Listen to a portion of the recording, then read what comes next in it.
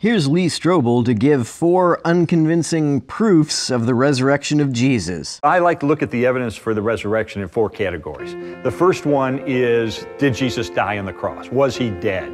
Virtually every scholar on planet Earth concedes that Jesus was dead after crucifixion. We have no record of anyone anywhere ever surviving a full Roman crucifixion. Gee, it's almost as if this proof is entirely superfluous. What's the point of giving a proof that crucifixion is lethal when nobody disputes that? I think Lee is just throwing this in to pad the number of proofs he can say he has.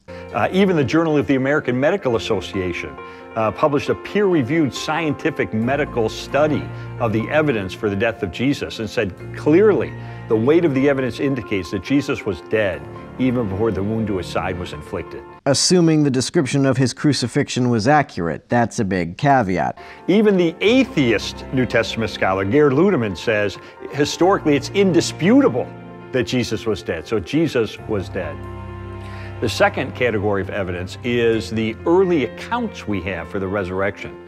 In other words, I used to think as an atheist that the resurrection was a legend, and that took a long time to develop in the ancient world.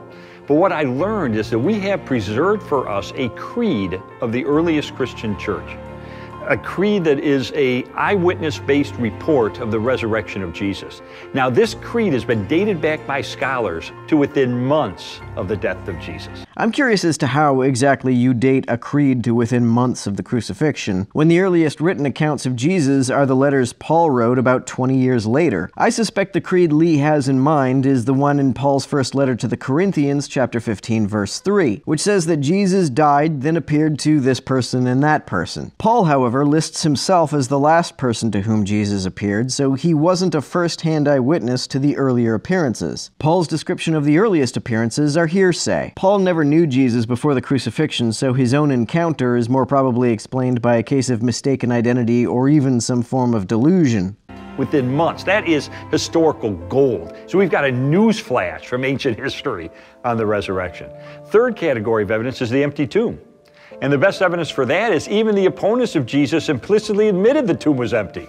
Because when the disciples began proclaiming that Jesus had risen, what the opponents said was, oh, well, um, the disciples stole the body. Not all of the opponents said that. I actually don't believe there was an empty tomb. Finding a tomb empty implies that it was at one time full. I doubt Jesus was ever even buried because he was crucified, and the whole point of a crucifixion was to humiliate a person. It was to put their carcass on display. The Bible says that some random dude named Joseph of Arimathea, a place that's totally made up, took Jesus' body and gave it a dignified burial. But why would the Romans permit that given that it defeats the whole purpose of a crucifixion. Now they're conceding the tomb's empty, they're just trying to explain how it got empty. So everybody's conceding the tomb was empty.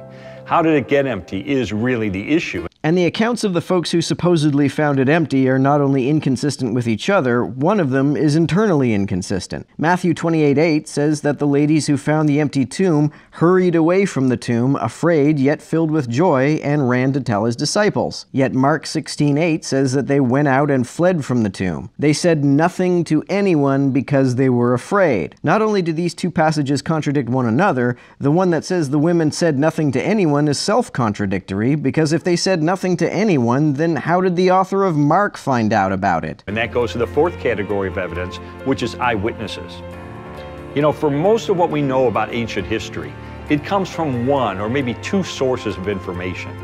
And yet, for the conviction of the disciples that they encountered the resurrected Jesus, we have no fewer than nine ancient sources, inside and outside the New Testament, confirming and corroborating the, conviction of the disciples that they encountered the risen Christ. Of which only Paul's is firsthand, and most probably mistaken or delusional. The rest are hearsay. They are not independent eyewitness accounts. That is an avalanche of historical data. No, it isn't. An avalanche of historical data would be testimonies from each, or even a handful, of the people Paul claims had seen Jesus after the crucifixion. Instead of several eyewitness accounts, we have Paul's one sketchy Road to Damascus account, his list of other people he claims have seen Jesus, and other second-hand, at best, accounts of alleged appearances.